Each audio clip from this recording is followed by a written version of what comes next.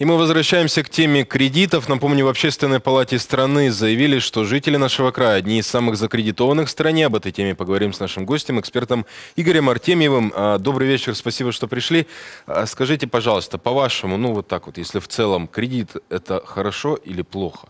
Знаете, это как с едой. В определенной дозе он действительно может быть полезен, но если не знать меры, то он будет очень действительно не особо полезен.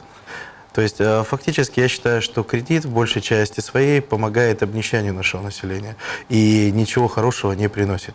Он приносит больше только тем, кто с помощью кредита может заработать больше денег. А, смотрите, вот тот факт, что мы закредитованы, это значит, что люди стараются стремиться к чему-то большему, или это вынужденная мера, ну то есть им реально не хватает на что-то денег, на что-то прям необходимое, или они просто там хотят все дороже и дороже машину. Как по-вашему, больше каких случаев? Я думаю, что больше случаев все-таки вынужденности, потому что фактически на сегодняшний день многие не видят другого выхода, как через кредиты удовлетворять какие-то свои потребности. Ну, конечно же, влияет и то, что э, народ пытается взять то, что ему не принадлежит, да, то есть фактически э, пытается взять быстрее, чем он может на это заработать. И вот это вот тоже подогревает определенную ситуацию. Я думаю, что большая закредитовка все-таки это вынужденность.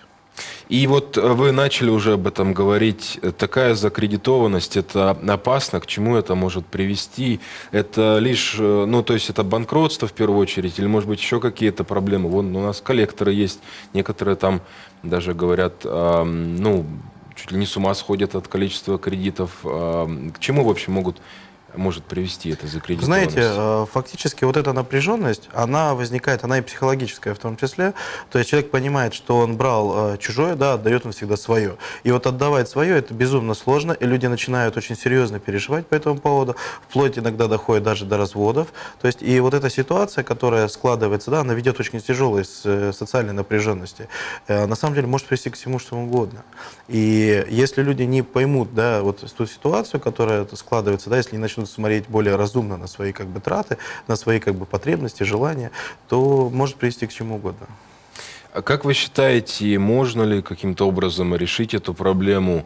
А, Может быть, э, каким-то образом, ну, я не знаю, ну, только ли повышение уровня жизни, в общем, поможет решить эту проблему, или что-то Вы еще? знаете, нет, здесь еще очень сильно ответственность лежит на банках, а, которые должны э, очень четко и жестко отслеживать э, кредитоспособность э, наших граждан. И очень важно повышать финансовую культуру населения. То есть люди должны понимать, что они будут отдавать, где они будут работать и каким способом они будут ли. Фактически вот эта перекредитовка, она еще и влияет и на бизнес, потому что э, люди идут и пытаются просить большую заработную плату, считать, что они мало зарабатывают, и фактически создают еще и напряженность у себя на работе, что тоже, кстати, ничего хорошего не приводит. К слову о культуре, я так понимаю, что многие это и не до конца читают то, что подписывают, когда берут какие-то кредиты. Особенно это относится не столько, наверное, к банкам крупным, сколько к микрозаймам, да, там столько различных условий.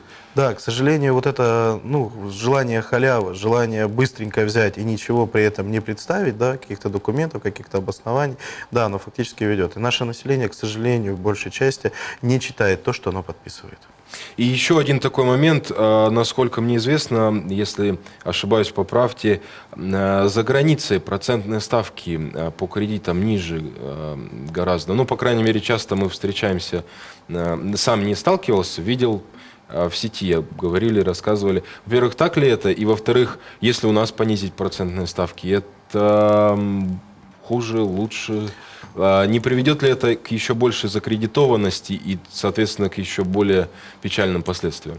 А, Фактически вот а, то, что сейчас происходит да, с кредитными ставками, это ответ на рынок, это ответ на ту потребность, которая есть.